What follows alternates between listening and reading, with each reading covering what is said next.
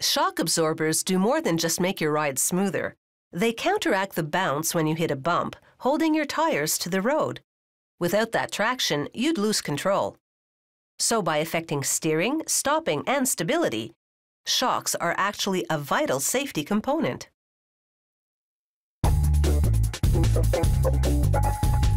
Wheel vibrations cause a piston inside the shock absorber to force oil through a valve. This absorbs energy, dampening the vehicle's bounce.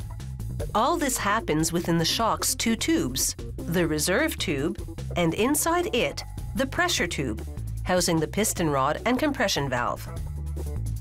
The factory makes both these tubes from a steel sheet sliced into strips. Inside this tube mill, coolant prevents the passing strip from overheating as one forming roller after another gradually rounds it into a tube. Then a copper welding wheel fuses the tube closed. As the five and a half meter long tube comes off the mill, a cutting tool chops it into shock absorber lengths. The tube making process is the same for the reserve and pressure tubes, except that the reserve tubes undergo one extra step, compressing the ends. This enables the shock to house a larger reserve tube that can hold more oil. The reserve tube's final stop is a press. A die inside stamps the part number, the manufacturing date, and the brand name.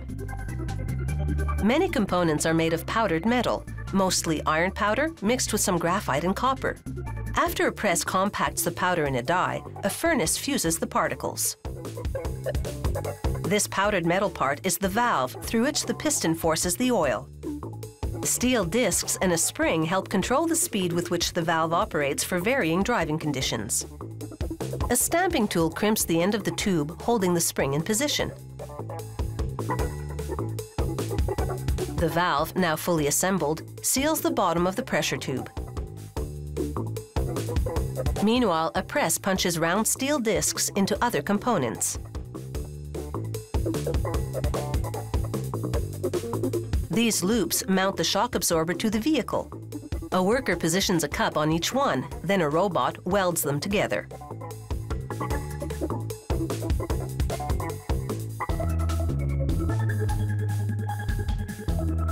They insert a cup and mount unit on one end of the reserve tube, then weld it on.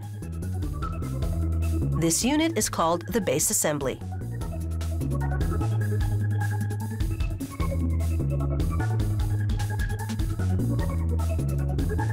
The base assemblies now go on a conveyor, open end up, so that workers can drop a pressure tube inside each one. Automated injectors now fill it with oil that's specially designed to maintain its consistency despite changes in temperature.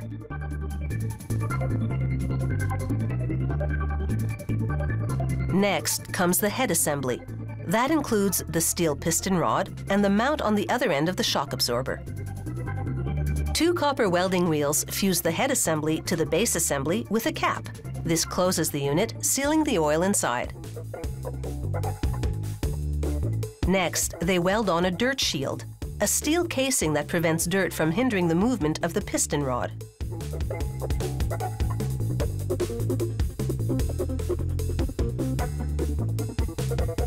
Now they press a bushing into each mount. This helps tone down the vibrations coming from the vehicle. Now it's onto an automated carousel. Robots pierce a hole in each shock and inject nitrogen gas to prevent the oil inside from foaming. After injection, the robot seals the hole by welding on a tiny steel ball. And now for the finishing touch, an electrostatic paint job. A machine runs a positive electrical current through the shocks and a negative one through the paint particles. Like a magnet, the static electricity draws the paint onto the shocks in a flawless coat. In the factory's quality control lab, technicians use sophisticated equipment to evaluate how well a shock dampens movement at different speeds. The tube and valve configuration inside varies by vehicle, so the shocks on a ground-hugging sports car are quite different from those on a luxury sedan